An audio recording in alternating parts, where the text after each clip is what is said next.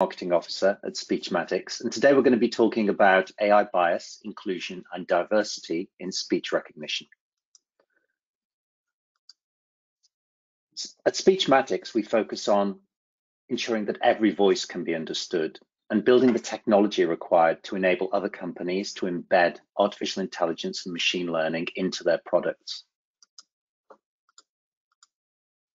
Speech recognition is a non-trivial problem. It's difficult.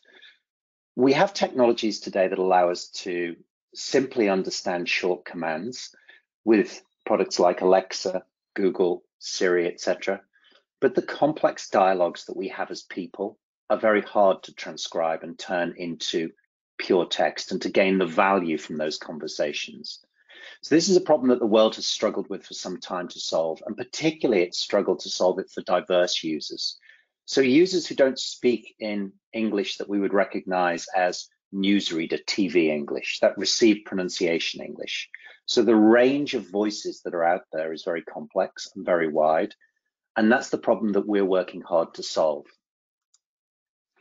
When we think about diversity, equity, and inclusion, it's worthwhile defining the terms as to what we mean and what we mean in terms of AI and any AI bias in there. So from a diversity perspective, diversity in this context means the ways that people differ and how they talk differently. People might have an accent. They might come from a different country and be speaking a, a foreign language. For example, you might have somebody in India speaking English to an audience in the US and there's different accents being played there and different ways of speaking. You might have a younger person who's speaking or an older person.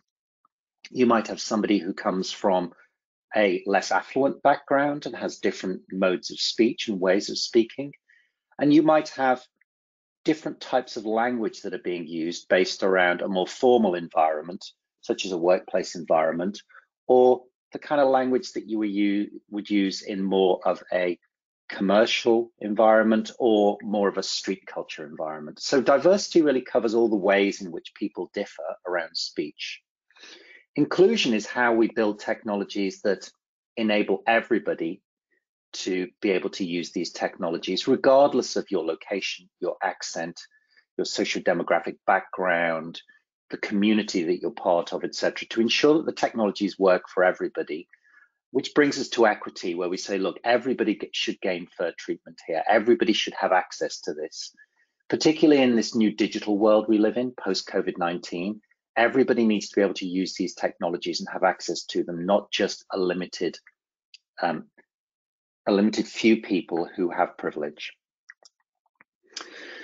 So when we think about accuracy and when we think about how to measure accuracy, what's the traditional way that we would measure it? And the traditional way is inside the speech industry is we measure something called word error rate. So when we think about word error, error rate, we will take a piece of technology, a piece of AI technology, and we'll push somebody speaking some words through it and then we'll measure the number of substitutions, deletions, and insertions required to get the precise transcript. And this gives the level of error that we see in that particular technology. And that error then typically is subtracted from 100% to give us a percentage accuracy number. So if we look at you know typical accuracy scores, these are some of the accuracy scores that we see here across different languages, then we can measure different providers of speech technology. In this example, we're using Speechmatics, Microsoft, um, another cloud provider, and Google. And we're measuring those different percentage accuracy rates. This is what we would call narrow accuracy. By narrow accuracy, we mean this is a defined set of data that we're measuring uh, in these different platforms to look at those percentage accuracies in there. Now, for us, we've thought long and hard about how we broaden that accuracy definition and what journey we need to go on as an organization to build technology that will, enable everybody to gain accuracy rather than just a narrow group of people who speak in a very particular way. And I'm going to talk a little bit now about that journey and, and what we've done. But to start off, it's worthwhile just thinking about what is bias. And bias really is how a preconceived notion of something starts to influence things that we do or things that we build. often in the technology world, the organization that is building the technology will have a defined set of people working there and their behavior, their background, their culture, their community will then influence the way that that technology is built. And an example of this would be, you know, if you've got a lot of engineering team members who are, you know, in their 20s, are highly educated, speak in a very articulate way, um, are quite privileged, then they will often build technologies that will work best for them and their community because they're building it and testing it. And we don't have a group of people from a less affluent background or from a much older background, for example, who may speak in a very different way. So this is how bias starts to affect AI. We're building something, we're bringing to the table the way that we do it as, as individuals. And then we're building the technology in our own image. So this journey that we need to go on has to be really, really focused around how do we take that personal bias out of the process of building the technology. And this is really, really important. The reasons being probably quite clear. You know, it's everybody deserves to be heard here. We have this immense unstructured data explosion that's going on out there. You know, social media, creative media online, streaming, etc., Internet of Things, big data and analytics, all this unstructured data, all of this video and audio content that's out there right now online and we struggle to gain value from it and gain insight inside those, those unstructured files. We then have COVID-19, people working from home, video and audio being the new normal, and everybody needing to use these technologies. This is this kind of digital first explosion means that actually everybody is now involved in this. We've then got a new a new generation of people coming in who are working in a much more consumerized Gen Z kind of way using media, you know, that always has subtitles on it, you know, consuming tons of TikTok and Instagram videos, uh, stories, etc. Audiobooks being more commonplace. So a whole range of different kind of ways that technology is being consumed. And then, of course, we have a wider societal awareness of diversity, equity, and inclusion topics. Um, wider understanding of gender and actually recognition of different different types of gender identity a real focus around inclusion and making sure that everybody's included in everything looking at different kind of racial backgrounds location cultural accent backgrounds and socio-demographics. So all of these play very much into how do we build technology that covers all of these things regardless of our own personal backgrounds there's also a whole set of legislation that's starting to come through, and this is the European Union Harmonized Rules on Artificial Intelligence, uh, Artificial Intelligence Act, that's starting to look at amending certain European Union legislative acts. This examination of possible biases, looking at test data sets and the relevancy and representative, representative nature of those test sets is going to be really, really key for anyone building technology. I would encourage you to read up on um, particularly Article 10 in this new le proposed legislation that's coming through around data and data govern governance. So we've got an ethical requirement here and a cultural requirement to bring everybody in. Now everybody's online. And then we've also got a whole bunch of legislation coming down the path for us. So let's think, let's go back to the earlier conversation of why do models become biased. The core of this is selection bias. And, you know, one simple way of thinking about how you build speech recognition is you can think about audiobooks, you know, and there's amazing libraries of audiobooks out there, such as Audible, where you have somebody reading a book and then the words in the book are also available. So if you're building a speech recognition set of algorithms, you can take an audio book and you can look at the voice and you can look at the words that are in there. The challenge there, though, is that society only has a very small number of people who are reading audiobooks and having them recorded, and their voices are often very easy to understand and very clear. So we've got selection bias coming in here. A small number of people are reading these audiobooks, then we're building technologies based around the way those people talk rather than building the technologies around the way society as a whole talks. And that's where this bias comes in. And this is the thing that we need to start to track down. And if you look at some of the larger data sets that are out there for um, text to speech research and speech to text research, the multilingual LibriSpeech data set is, is one such example. There are many different examples out there, but I use this just really to illustrate in this particular set of audiobooks here that is used to train some of the tools that, that are out there on the market for speech to text, then we can see here that actually this data set contains 12,400 audiobooks in English with 4,000 speakers. German, there's only just under 600. By the time we get to Portuguese, there's only 68 books in there that are being done with 31 readers. And for us, the real important thing here is to say, look, we need to be able to pull in a wide range of voices, not just looking at 31 people reading Portuguese. We need thousands and potentially millions of voices to analyze to build the correct high accuracy Portuguese recognition or Italian recognition, etc. So getting that data that's out there and understanding how that data can be used to build the right algorithms and deep neural nets is the way that we start to tackle this, this bias problem here and moving away from just a limited number of audiobooks. And as we start to think about the way voices work and voice accuracy works, we can think about a bell curve. And the bell curve that I've got here, the typical word error rate accuracy that you will see sits somewhere on that junction between quadrant two and quadrant three. And we can see that that's really the best accuracy that you get across this whole spectrum.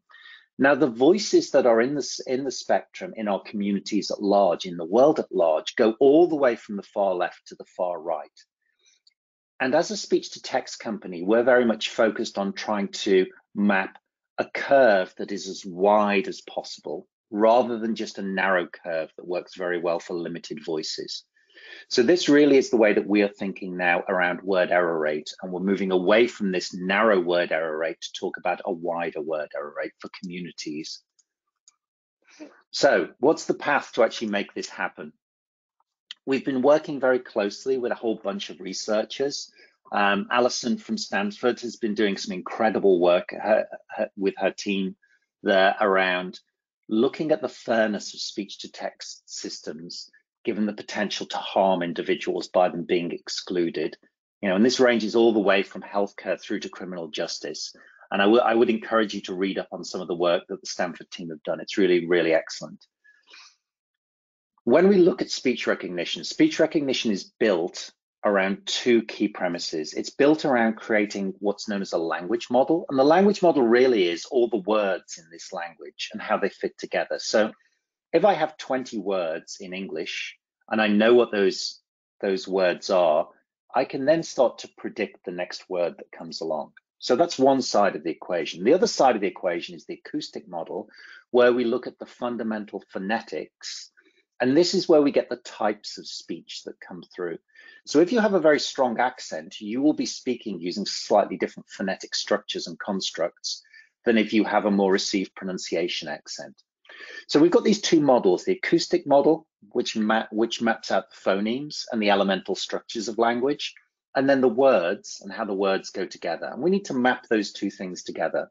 And typically training data would be used to build these, these deep neural networks and that training data would often come from things like audiobooks. And then when we're in the real world, we often have an awful lot of noise in there. So if you're trying to use real world data sets, it gets very difficult to kind of map it because of all the noise behind it, because it's not very clean data. And this is why we have challenges around articulation differences, speaking style, kind of regional non-native speakers, etc., accent, you know, different ways of speaking, vocal tract differences, maybe due to gender, due to gender identity, due to age, slower or faster speaking rates, etc. So we've spoken about the simple use case, the command use case that we've had with Alexa or with Siri or with Google um, where we're just asking a simple question or we're controlling something like light. So that's a very simple control use case. You also see that sometimes in shopping systems, retail, point of sale environments. The other more complex environments is where we're trying to extract meaning, metadata, keywords, summarization, sentiment, etc., where we're looking to analyze and understand and do analytics, big data work, and then really the long form transcription and interpretation of long conversations so that we can uh, gain access to the meaning and the value inside of a conversation between two or multiple people. So these complex use cases require much more complex deep neural nets. And the traditional ASR that we have, as we've already described here, links together this acoustic model with these phonetic structures, with the language model, where we're looking at the static probability of a natural language structure. And a traditional ASR will take the words that you speak, will try and remove noise from it and look at what's called feature extraction to take the edges out of your the tones that you're speaking and the noises that you're making and then tries to assemble them into phonemes and decode them against the language. And this works in a simple, simple kind of environment. But those other complex use cases, it works less well. And also, you know, we all see examples where, you know, things like Alexa, Siri, Google, etc. They don't work for certain accents. They may work less well for certain gender identities, etc. So we need to change the way this model, this traditional ASR model works. And that's the solution that we've built here at Speechmatics. So what we've done is we've moved from this old way of doing speech recognition, which was known as automatic speech recognition, to what we're calling autonomous speech recognition. And why we're using the word autonomous is that we are looking here at self-learning. So we're looking at how we can learn without bias how we can learn without bringing in selection of a subset of people and how it can start to self-learn. Now there's a long journey on the table here for us to become completely autonomous, but we've taken those first steps for it. And really what we're looking at here is how we can start to use the internet and how we can pull information from sources such as internet radio podcasts and the wide range of voices that are out there who are producing much smaller audio samples to create a much more comprehensive phonetic model. And it's this phonetic model that is the key to the magic underlying all of this. So how does this work in, in practice? And we're starting to drill down here under, under, under the covers. How it works is we, we work on a training model here to build these neural networks where we look at creating very, very large acoustic models with large and very wide ranging comprehensive phonetic structures from many different ways of speech. In parallel, we crawl the internet to figure out the language structure, the natural language structure for all the languages we're working on. And we do that far more regularly, rebuilding the language packs, rebuilding the phonetic structures on a monthly basis, and moving over time towards weekly and daily rebuilds. So new words start to come through far, far faster. This training model that then gets configured into a customizable engine, because in some examples, we may wish to have something that runs phenomenally quickly. In other examples, it might need to be very, very accurate. Sometimes you want profanity to be in there in the subtitles. Sometimes you want it removed. You know, an example might be, you know, for an Instagram video, you might be happy with profanity. For um, the TV news, you don't want profanity to show, for example. This configuration then gets deployed to any topology. So in the cloud, in your private cloud, on device, on edge, on premise, and then it's run to actually make this work depending upon the configuration. So that's kind of the, the construct that we work through. And to build those models, this is essentially the two sides of the structure we're working with here. On the left, we have these wide-ranging internet audio sources. So we're training using self-supervised learning. And this really just means learning from first principles. It's listening to those sounds and producing an abstraction of every sound we can find from that internet audio that we're listening to and starting to create those elemental structures of phonetics and what and the sounds that make up those phonetics, and we build a sound structure in abstract. We also use then unsupervised learning to build a language structure that gives us this comprehensive ability to predict which word comes after another another word. And then the labeled data that connects the two is a much, much smaller data set. So we've got this comprehensive acoustic model. We've got a comprehensive language model we can then start to do adaptation to them if we're working in a special environment such as financial services or medical, etc. And then we add in extra features around these. including a front end to the whole piece that does things like remove noise, rebase accents and to tonality, look for initial acoustic uh, groupings and couplings and phonetic groupings and passes those down and acts as a coordinator across the different parts of this autonomous speech recognition engine here. So we're looking at who's saying what so that we can kind of say, the person A said this, person B said this. We're looking at which languages are used so that we can move between Spanish and English and German. We're looking at sentiment analysis, like, okay, is this person happy? Are they sad? We're looking at summarizing the meaning that's in there. And when this whole thing has worked through and the language comes out, we then post-process to do things like redaction of financial information that you might not wish to kind of hold, such as credit cards, removal of profanity if you've set it up in that way, adding in brand terms, turning numbers from a long form such as 2,556 into the numeric form, same with money, same with special character sets, same with brand terms, etc. So this really is our blueprint for autonomous speech recognition and how that will work in the future. And this is what we are building, and we've built a number of these components right now, and we're building out the rest on our roadmap. So we're trying to train for the future. We're trying to train for inclusion. So what's the kind of results that we're seeing right now? So remember, we're going out here onto the internet and we're listening to voices that are on the internet. We're not targeting specific voices. We're listening to all sounds that are out there from first principles.